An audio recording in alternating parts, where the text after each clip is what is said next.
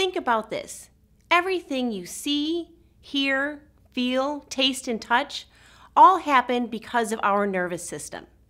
So every day, millions of sensory stimuli enter our brains. Our brains interpret those and allow us to engage in our behaviors and be successful. Every minute, thousands and thousands of neurons are firing. And it makes our behavior seem fluid and effortless, when in fact it's actually quite complicated. Let's take a look at an everyday example that shows how our nervous system allows us to be successful human beings. Something amazing is about to happen. Lauren is about to see and then touch a dog. You may think, amazing? How boring and everyday. But in fact, it really is an amazing process. Let's take a look at it a little more carefully.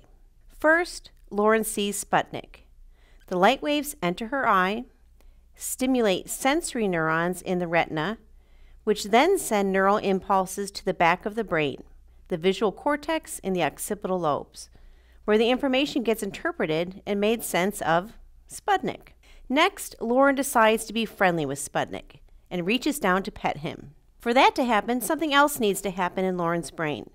It has to send a signal to the motor cortex involved in moving her hand to reach down and touch Sputnik. This impulse gets transmitted from the motor cortex in the frontal lobe to the arm via interneurons in the spinal cord and motor neurons in the arm, which contract muscles in the arm and move it back and forth.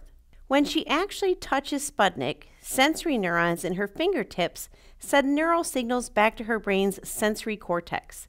Here, she has the conscious sensation of furriness.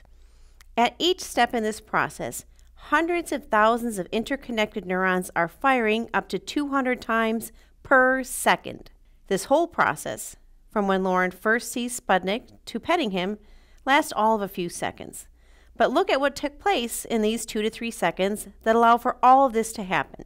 Now perhaps you can see why we call this everyday event amazing.